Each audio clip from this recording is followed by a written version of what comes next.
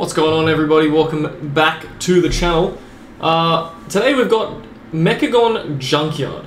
Now this is one of the easiest dungeons this season, by far. I think teams have already done 31s of these, which is quite insane, and most likely you'll be two chesting or three chesting these up until that point anyway.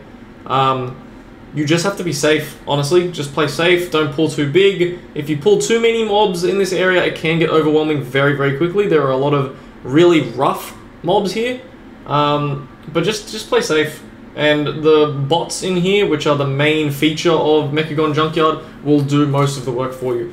Now, the route that I'm going to show you, the route will change every week, every day, depending on your comp. It, it will always change because the the fact of the matter is, it uh, your your pathing for bosses will depend on where the last boss is situated. If the last boss is circling one of the bosses, you can't go there first necessarily because it will activate hard mode for it, which will just you know send some bots down onto the ground, make the area filled with electricity. It's just very annoying, and there's no point doing it. So. The, um, the order of bosses for the first three at least are going to be different every week, depending on where the last boss is circling. But um, in this specific scenario for us, I think it was circling Gunker. So uh, I will show you. This is the first week of um, Shadowlands Season 4, by the way, where this VOD comes from. This is a 17 junkyard. Uh, we end up three chesting it, and I will show you how that is done. Now, um, it, I've, I've come to my attention a lot of people can't really see the bots, so you just got to be just just be aware. Like the shock bots will have lightning coming out of it, and you can kind of see it. Uh, it's a little it's a little different. It, it's pretty obvious when you're looking for it, but if you have never seen it before, it might be a little hard to uh, to, uh, to detect. But um, this route specifically, you can use every single week. I'm just going to show you the fast way uh, that I get five shock bots immediately because that should be the first thing you do. The the fastest the faster you get five shock bots for your team, the uh, faster you'll be able to just clear the dungeon. Um, so getting them quick is key. Uh, also, a reminder that if you do end up dying in the dungeon, you do lose all the bots that you have. There are three different kinds of bots. There are shock bots, there are grease bots, and there are um, welding bots. one will give you haste, one will give you stamina, and one will give you damage over time. I'm pretty sure shock bots are a maximum of three targets. Tell me if I'm wrong in the comment section below, guys. Uh, but it will most likely top your damage, and shock bots are affected by haste. So if you want to pick haste, and this is probably the dungeon to pick haste if you pick something else otherwise. Because shock bots will carry you through this entire dungeon. Without further ado, let's jump right into the video and uh, review this VOD we got right here. So a 17 Junkyard, like I said before. We're going to start off by going around to Gunker. So we're going to start here, jump straight off, watch for this pack right here. You don't want to be pulling this, it's going to make, make everything a lot longer and a lot more annoying if you do end up pulling that pat. So we're going to run straight here, as you can see, we're going to go up and immediately as we're here, I don't know if you can see, there's a shock bot right here in that corner there. And I'm going to grab this scrapper. If you can see, there's a little bit of a lightning head on it. I'm going to grab this scrapper up here too, and there's another shock bot where our uh, Ret Paladin was going. He's going to jump over and down to the right. There's another shock bot there. I'm going to make sure I have aggro of these two. I'm going to bring these over to here. And we're going to pull all of this. There's a welding bot down here. It's a little bit shiny, as you can see. Just trickling around. Now, the most important uh, ability here is Shrink on the uh, Renormalizer here. It will make someone in your party small. And if you walk over them while they're small, it will do a substantial amount of damage. Enlarge is going to, obviously, enlarge a player. Or in this case, a, a mob. Now, Gyro Scrap, just don't want to be near it, and you want to be, obviously, dodging the swirls on the ground. Very standard stuff. You've got your carrion swarm from your infiltrator, as always, from the affix of the of the uh, of the season, and then you've got the fear puddles on the ground, or the sleep puddles on the ground. Sorry. So with these scrap bots, these malfunctioning scrap bots, you want to be very careful. Only really try and pull two uh, at a time because they do a lot of AOE, especially on um, on any week really. Like this is just a tyrannical, and it's still doing a lot a lot of damage. So. Um, you want to try and again minimize the amount of things that are happening purely for the fact that you don't need to rush Junkyard. You have so much time in this dungeon. The bots do everything for you. It's pretty, it's pretty chill on the timer. Um, if you're wondering why I have this over here on the left, this is a weak aura telling me, because I'm dictating what's going on in this dungeon, uh, telling me who doesn't have a certain bot. You've got the shock bot here, the welding bot, and then the grease bot here as well. So we're going to jump up here. Now, I don't intend to pull this pack, but it just ended up being there. Percentage-wise, you can literally just pull whatever you want. As you can see, a hunter does die and then loses their shock bot, so they have to find another shock bot which is a bit annoying because we just picked up two. There's another one here, as you can see, just under the word enemy forces. There's a shock bot right there. Looks like it has like a bit of a bit of a coil. Looks exactly the same as the coil bearer right here, just a little bit smaller. That's all. Should be very easy to see. They're just walking around. Now, once the giant, once the scrap bot gets to a certain percentage, they're going to uh, cast an explosion on the ground underneath them and just kill themselves. So just make sure you're moving away from them. When that happens, as you can see, self-destruct move away from it. Now, the thing that killed our hunter was the cavalry. Now, this mob ends up killing a lot of people. You can outrange it, but you just need to make sure that you are dodging the uh, the, the bullets that are coming out of the cavalry. It's just going to go clockwise in a, in a slow, slow clockwise direction. It is very easy to dodge. Just be close to the target and move along with it. That's about it. It does a charge as well. You can see a swirl on the ground. The whole dungeon is pretty much just a bunch of swirls you need to dodge and a bunch of frontals you need to avoid. You want to go through Nano Slicer as a basic bleed on the tank, nothing really important there. We've got a shock bot here, and we've also got another welding up there that got taken before. So I'm going to grab these two mobs here. Finish that off.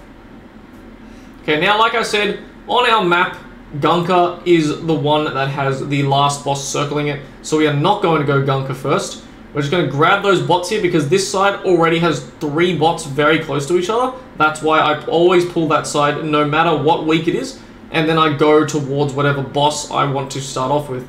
This week, this specific week, as you can see, there's another, uh, another um, Zap bot over there. We're going to pull this pack here because it runs into the Zap bot area. I'm just going to kill that pack like I said before, killing mobs in here, it just depending on if someone pulls it or if it's in your pathway, you don't really have to worry about doing specific mob packs as long as you can clear all the mobs around the bosses and you clear the specific mobs that are required to summon Gunker as well.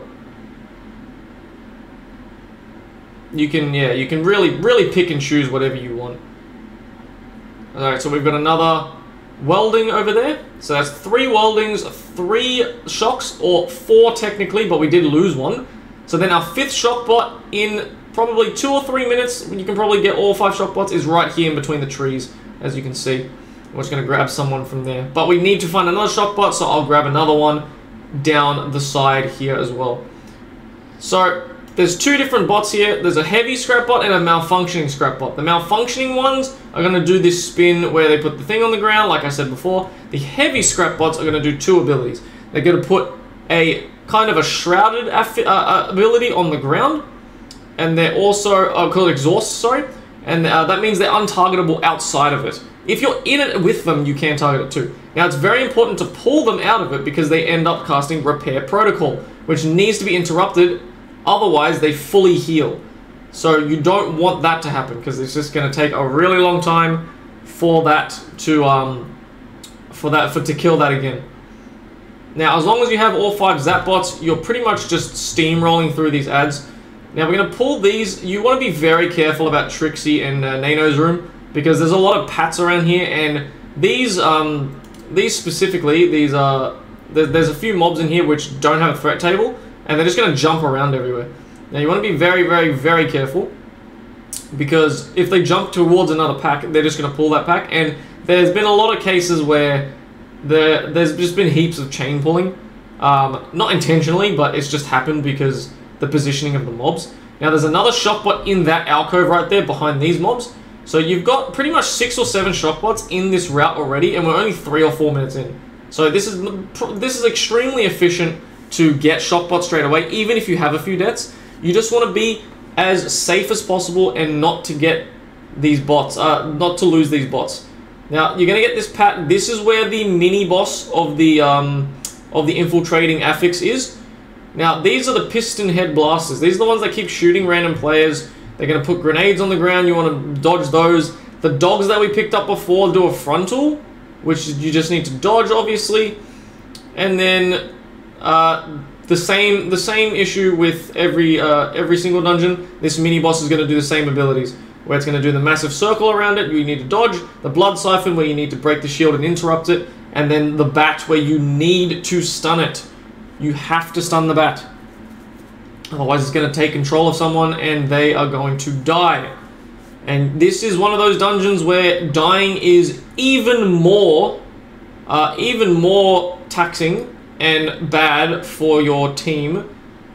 Uh, compared to other dungeons. With other dungeons, you don't really lose much except for 5 seconds on your timer and a bit of a run back. This, you lose potentially... Oh, God knows. You lose a lot of damage, a lot of health, and a lot of uh, a lot of defensive. Uh, sorry, a lot of haste if you had all three bots. And remember, there's only a limited amount of bots in the area. So if you end up dying too many times with all the bots, you will eventually get to a point where you have no bots left and the dungeon's gonna end up being one of the easiest dungeons to uh, feeling like one of the hardest ones. And you'll understand later on. Because these are these bots really do make a massive difference. So we're going to pull all these. Again, mechanics are going to do two abilities. They're going to do repair, which is obviously going to heal, and they're going to do overclock, which is going to increase uh, the haste of everything around it. You just need to make sure you're um, you're interrupting those. The crawlers are going to do a frontal, which is called scrap cannon. You just need to dodge that. And they're going to do an AoE as well, which is just going to zap everything around it for a duration. It does quite a lot of damage, so you usually only want to pull them by themselves. Um, but since it's only a 17 and the group I'm with is quite capable, they will, I'll just pull extra and they should be okay. Now these blasters again, very, very annoying run and gun, you can stop it mid-air with a stun. It's probably the best idea to do that because on the higher key they will do a lot of damage when they're doing run and gun and shooting as well. You don't want them just shooting constantly. Just try and get some AoE stuns or single stuns over there. So now we're going to come up to our first boss in this specific route, which is Trixie and Naeno. Now you want to get them both down at the exact same time, otherwise one of them is going to buff, uh, get buffed.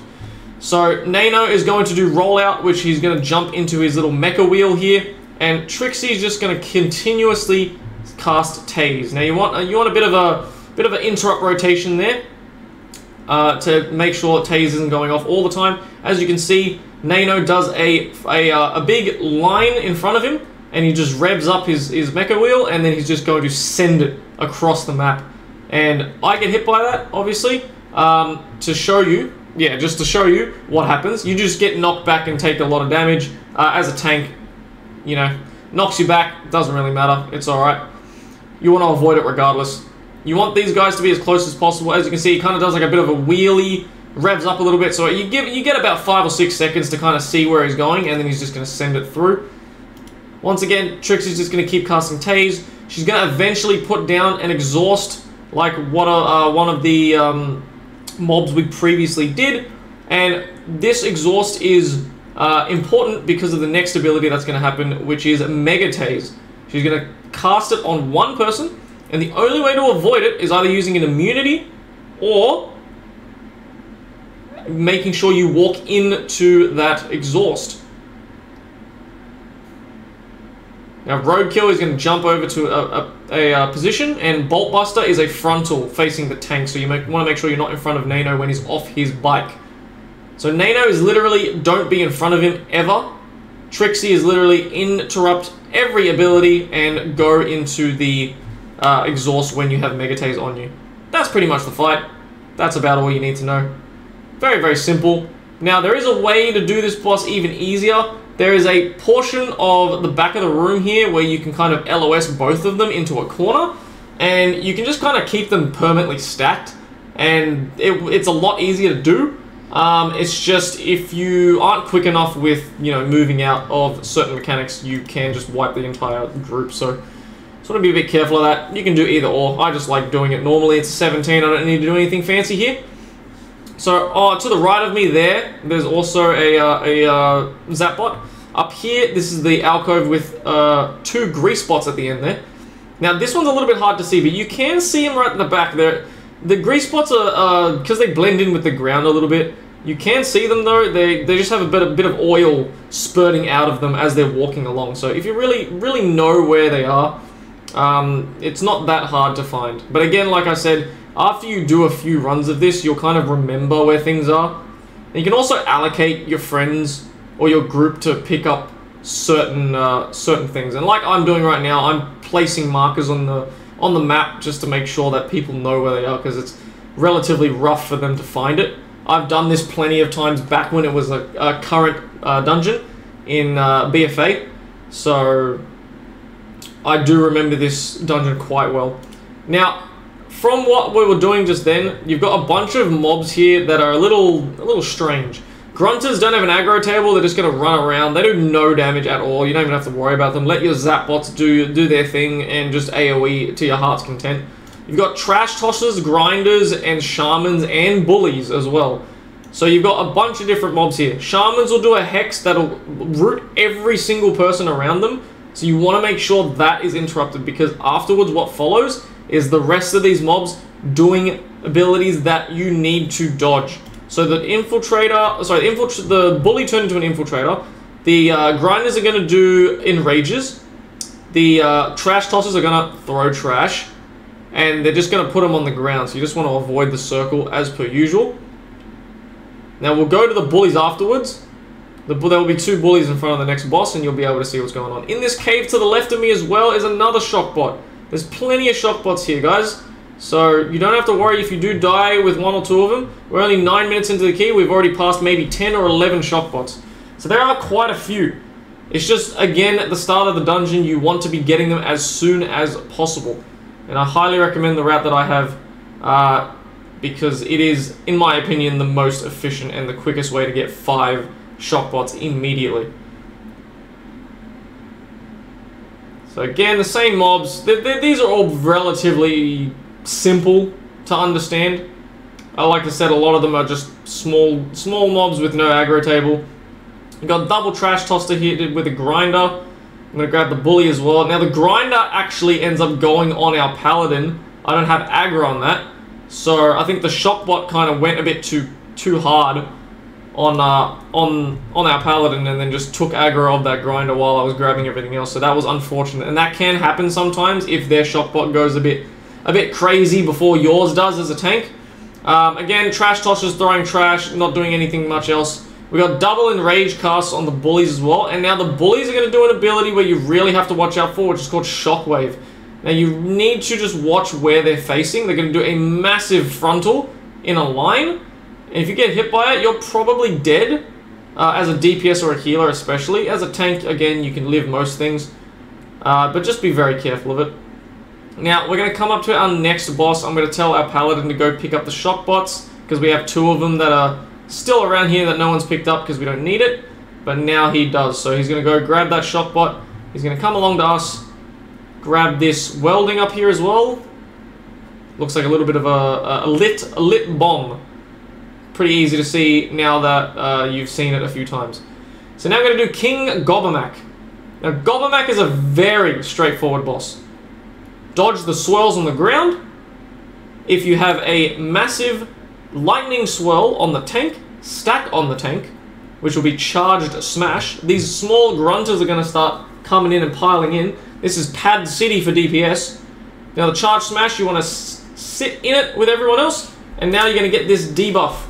As you can see, we got three people with it. We had our Ret Paladin have it as well. He's run straight away to these nodes. When you go into here, you've got four coils around the room. There's one up here, one so one north, south, east, and west. Now you want one person with a debuff to walk next to it. It's going to charge the coil, and it's going to one-shot these grunters as soon as they come in, because right now, the boss is going to summon hundreds of these guys. Now, if you really want to pad DPS, you can just let them go in and not charge the coils. I know a lot of groups that do that just for the fun of it, but uh, this is how you're supposed to do the boss. Uh, but that's pretty much it. Like, you're just dodging the swirls, soaking the charge with the tank, and then moving to the coils. As you can see, this boss is just absolutely getting destroyed. And it's a Tyrannical week as well. Yes, it's only a 17, but you can see how hard these zap bots are going. And I'll probably have a look at my damage uh, damage meters afterwards. Now I'm 390 to 292 at the moment, so I'm quite geared at the, for the first week of uh, of the new season. So you can probably see I'm doing quite a bit of damage as well. So that's why that's why these uh, these dungeons are going quite uh, quite easily. Okay, so Gobbamak's dead. That probably took about a minute, maybe even less.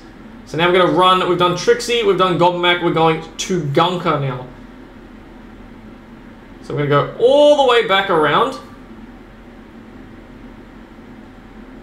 Now we're just going to make sure we're dodging everything. As you can see with the weak aura on the left-hand side as well, right here, we have two grease bots missing. We have our DH and our Paladin that do not have grease bots yet. Now I'm going to try my best to run around and find some grease bots for them, because they should have all of them, but unfortunately one of them did die recently, so they lost all their bots. I'm going to let you guys know where the other shock bots are. So right here in front of me in this little pipeline, there's a shock bot. Make sure you grab it. Now this area as well is extremely frustrating if you pull too many. Now the eating slime will cast and also multiply and also splash. Now all of the slimes that it does will do the exact same thing. They'll all splash.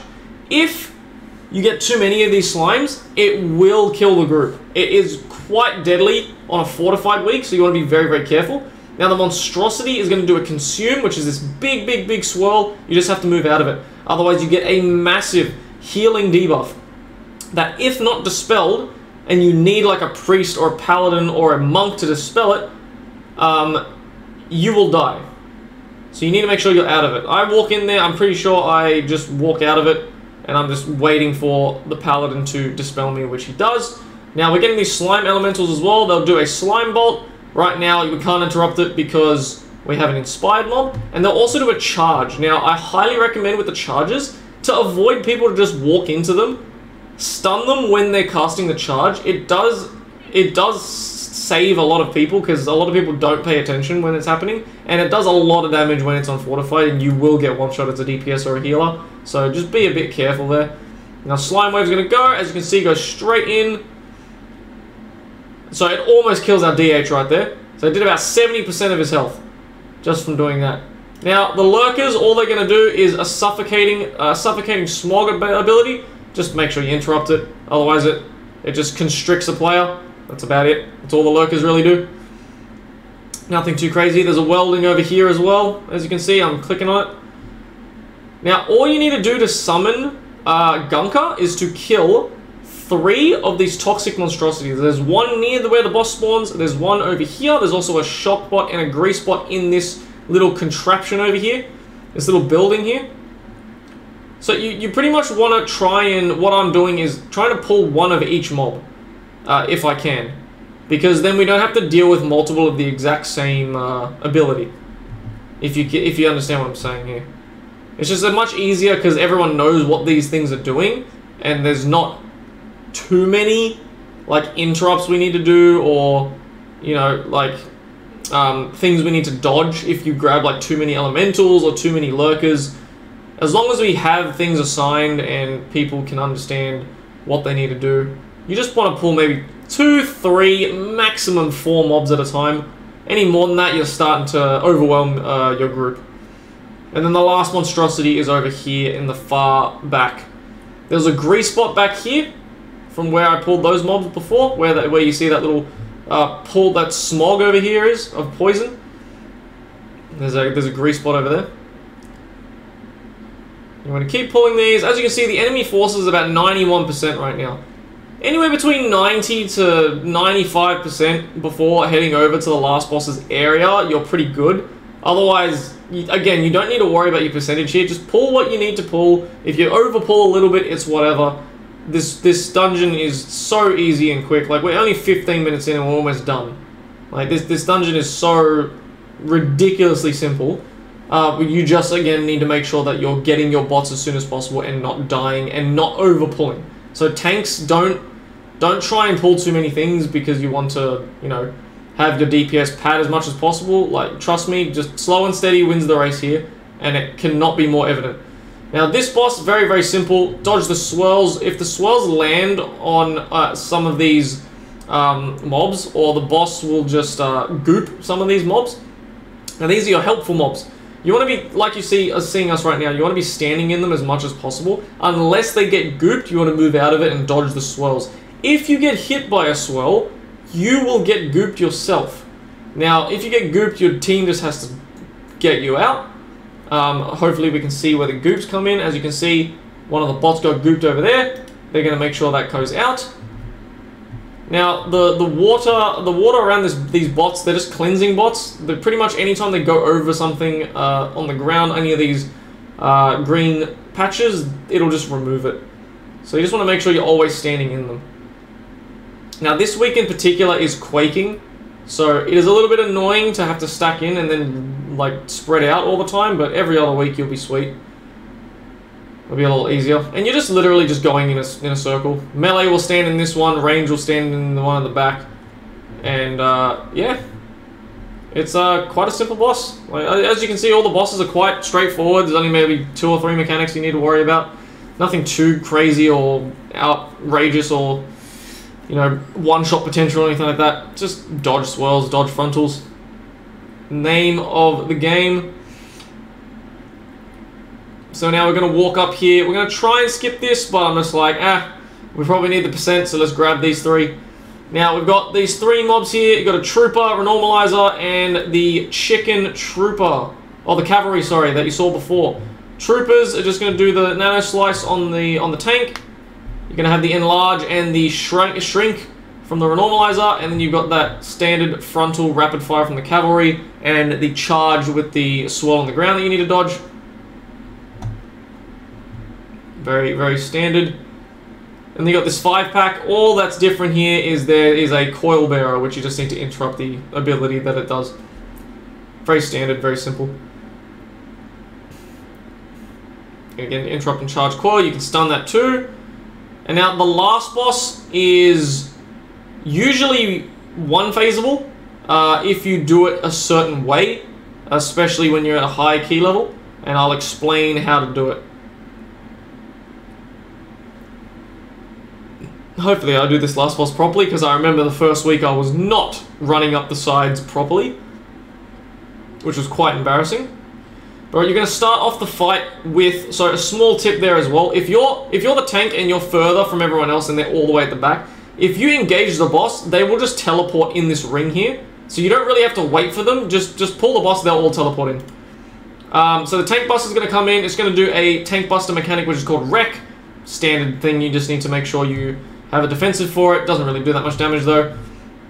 Um, and then it's going to cast these uh, these swirls on the ground. Again, dodge it.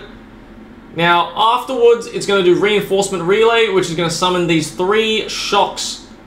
These three shock bots that are going to continuously walk towards you guys, and also put lightning on the ground wherever they walk.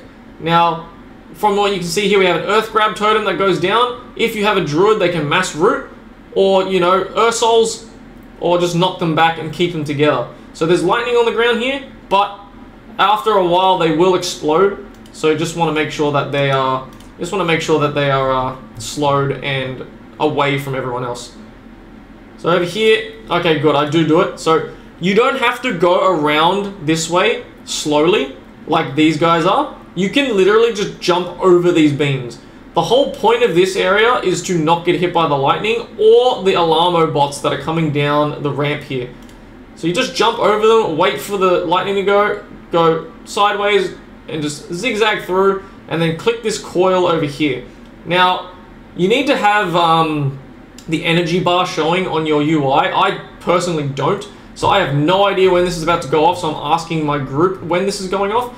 Now, the best way to do this is you have everyone charge this, and then when it's about to, to, uh, to finish, you have your healer or your tank stay back while everyone else walks into these Alarmo bots. Oh, sorry, walks into the lightning and then gets zapped back to the beginning of the of the uh, the little gauntlet here. So then they can straight away lust and go onto the boss immediately with all their cooldowns without having to run all the way down during that burn phase. So we're going to have a few people jumping back. As you can see, they're all running back. I'm staying here. I'm going to continuously do this until it's done. They're already down there. They're going to pop Lust, and they're going to send all their cooldowns in and nuke down the boss. Now the boss is going to have a crazy increased damage taken right now. I'm pretty sure it's just 100%. And we're just going to pop all our cooldowns. And as soon as this haywire is done, you still have a few seconds while it's like trying to recharge and go back in the air.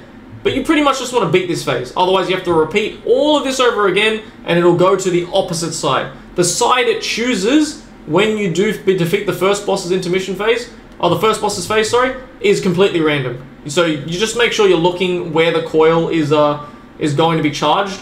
As soon as you see a charged coil on the left or right, you know that's the way you need to go.